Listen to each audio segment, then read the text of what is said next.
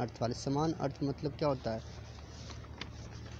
एक जैसा अर्थ वाले शब्द हैं, ठीक है? अब आपको पता चल गया होगा कि समान अर्थ किसे कहते हैं, ठीक है? तो आइए आपको अपना, आप अपना अभ्यास कार्य कीजिए हाँ कार्यपत्र।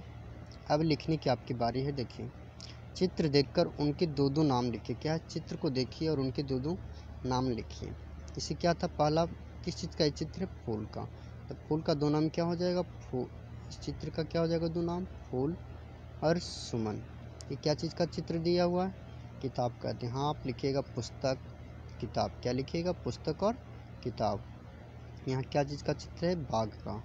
तो बाग, बगीचा। ये क्या चीज़ का चित्र है? चाँद का। ये क्या है? मोर है। ये क्या है? गला, जल है। क्या होगा यहाँ? ग्लास नहीं। ये क्या है यहाँ? जल है।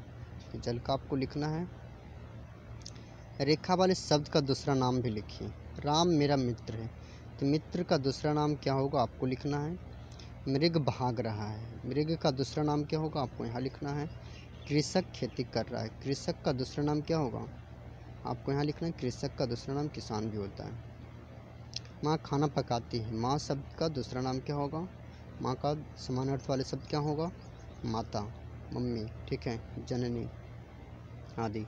आपको क्या करना है? इस अभ्यास कार्य को कॉपी में लिखकर पूरा करना है। ठीक है? धन्यवाद।